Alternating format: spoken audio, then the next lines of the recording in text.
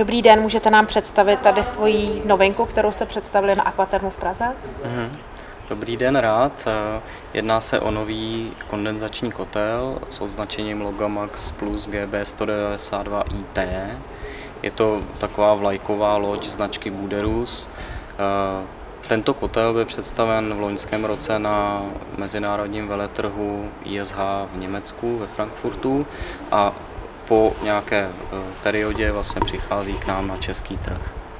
A jedná se tedy o kotel pro vytápění a vzhledem k té velikosti i zásobník na přípravu teplé vody.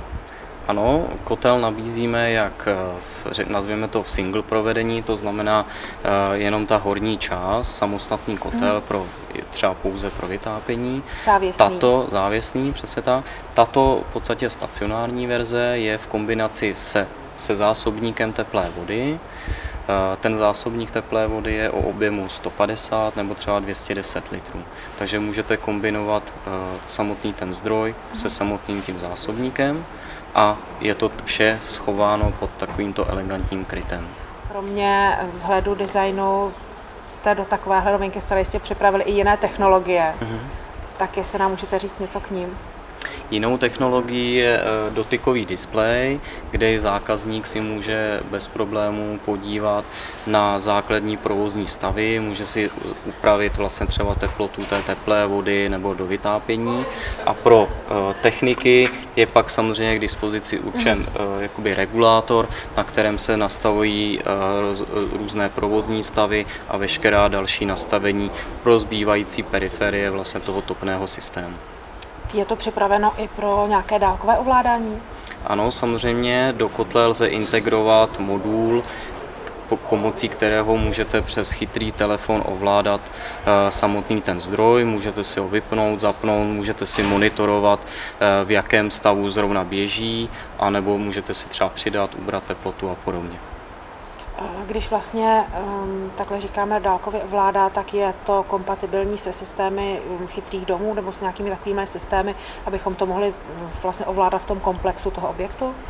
Můžete, můžete to mít buď, jak jsem zmiňoval, na jenom chytrém telefonu hmm. pro vás, tak to zároveň můžete mít eh, do tak, takzvaných těch chytrých domů, to znamená včetně ovládání žaluzí, osvětlení a alarmu, tak můžete vlastně prostřednictvím taky zase dalšího modulu ovládat eh, vlastně samotný ten zdroj.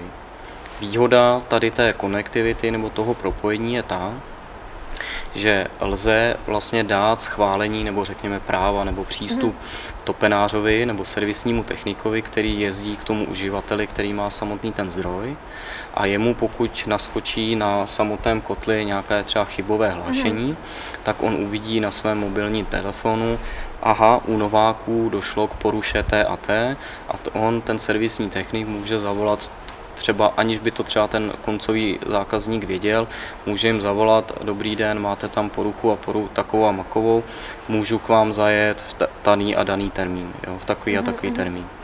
Další možností je třeba to, že uh, u všech těch plynových spotřebičů se doporučuje jednou za rok pravidelný servis. Servisní technik přijede, zkontroluje vizuálně, jestli je všechno v pořádku, koukne se vlastně dovnitř do toho kotle, naměří spaliny, mm-hmm. aby se vědělo, jestli ten kotel spaluje vlastně při maximální účinnosti. A tady tu, tady tu servisní prohlídku on může udělat automaticky, to znamená zavolá zase tomu zákazníkovi, mm-hmm rok jsem u vás nebyl, pojďte, mrkneme se na kotel a, a budete mít zase připravený na další sezónu samotný mm-hmm. ten zdroj. Tyto moderní kotle umožňují diagnostiku v tom smyslu, že vy se napíchnete vlastně třeba nějakým notebookem do mm-hmm. samotný zdroj, vy vidíte průběh uh, po celý rok, jak ten kotel běžel, jestli tam nebyla porucha a případně jaká tam byla a je schopen monitorovat vlastně kompletně ten zdroj.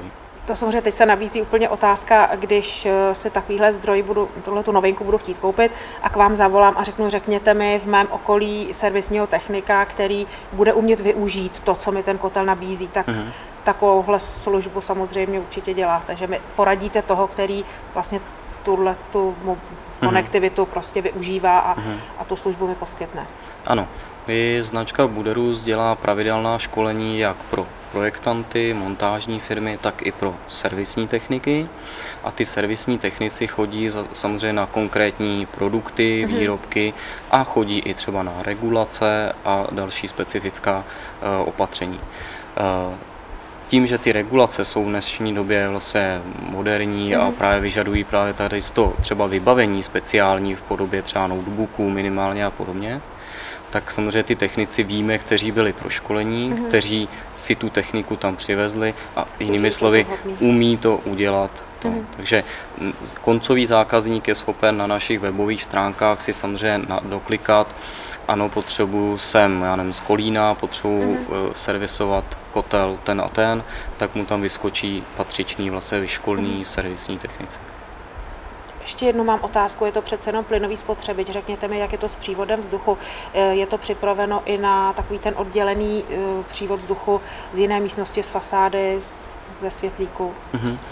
Je to plynový spotřebič a přesně potřebuje to kyslík. V dnešní době, kdy se zateplují objekty, těsná okna se pořizují a podobně, tak i tak ten zdroj tepla potřebuje, potřebuje dýchat, jinými slovy. Potřebuje ten kyslík. Eh, dá se to docílit vlastně od, odvodem spalin, který je standardní vlastně u všech kotlů na, na, na celém trhu.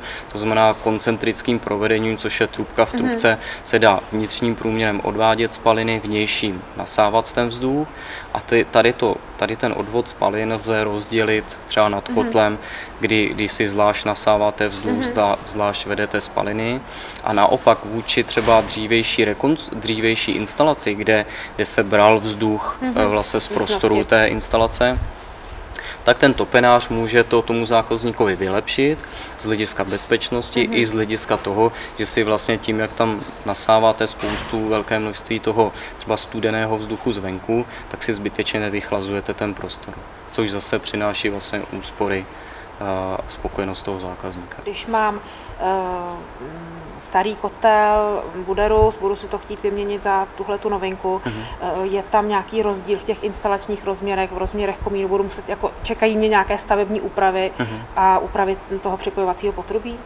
To správný dotaz. Uh, u těchto, u vývoj, při vývoji těchto kotlů se pamatovalo na to, že e, na trhu, na českém trhu nebo na jakýchkoliv trzích je celá řada vlastně instalovaných výrobků a nutností nebo prostě základní takovou premisou je to, že je tam nutná ta, ta už zmiňovaná ta konektivita. Mm-hmm. To mhm. znamená, jak odvod spalin, tak i hydraul, připojení hydraulických těch vývodů i na plyn jsou ve stejných roztečích jako kotle s 20 letou historií zpět. Samozřejmě výjimkou budou asi kotle, pokud jsme měli staré atmosféry a teď jdeme do kondenzační mhm. techniky, mm-hmm. tak v podstatě odvod kondenzátu nás čeká.